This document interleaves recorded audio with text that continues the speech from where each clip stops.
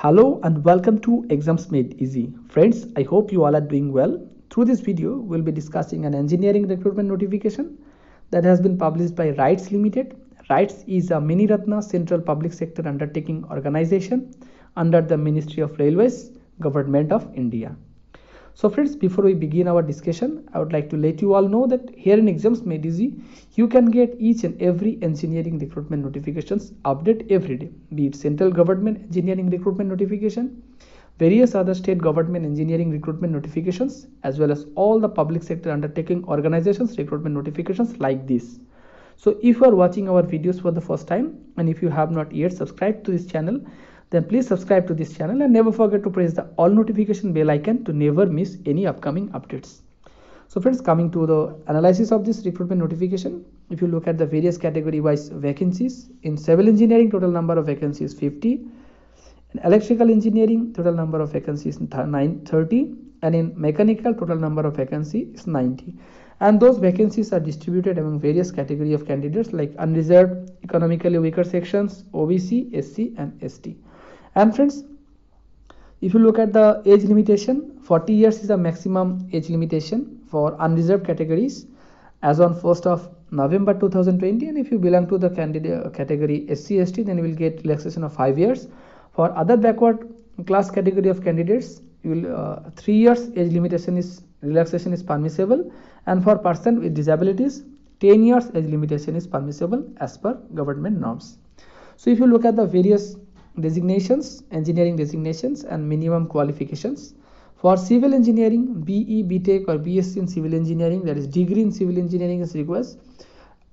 Apart from the minimum educational qualification, two years post qualification experience is also required and it is applicable to electrical and as well as mechanical engineering discipline. That means for both electrical and mechanical engineering discipline, you have to be an engineering graduate and two years post qualification experience is applicable for those posts also. So friends, if you look at the selection procedure, 5 percentage weightage will be given to the experience, 60 percentage to the written test and 35 percentage to the interview.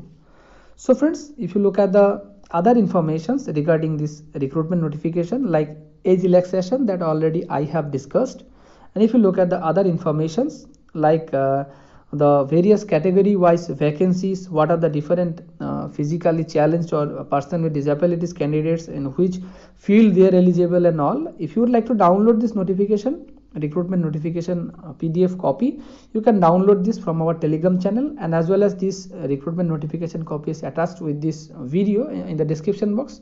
There is a link in the description box. By the by following that link you can download the same.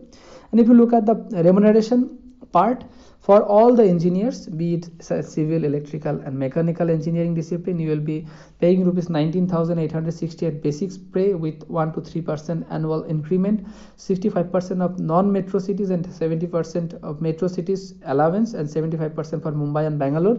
Medical and accidental allowance at the rate of 12 percent of the pf will be permissible as per government norms. That means um, gross salary will be around 35152 and all and if you look at the ap application fee you have to pay rupees 600 if um, if you belong to general category or obc for ews sc st and person with disabilities 300 rupees plus taxes is applicable. And friends um, online application procedure has already been started as i already have told. This is the website by following which you can apply online. And friends application procedure has already been started and it has started from uh, this month only that 5th of November 2020 and it will continue till 26th of November 2020 so friends if you have any queries please let us know by commenting below in the comment box. And if you'd like to get this kind of recruitment notification updates every day then please subscribe to this channel and never forget to press the all notification bell icon to never miss any further updates. Thanks for watching. Thank you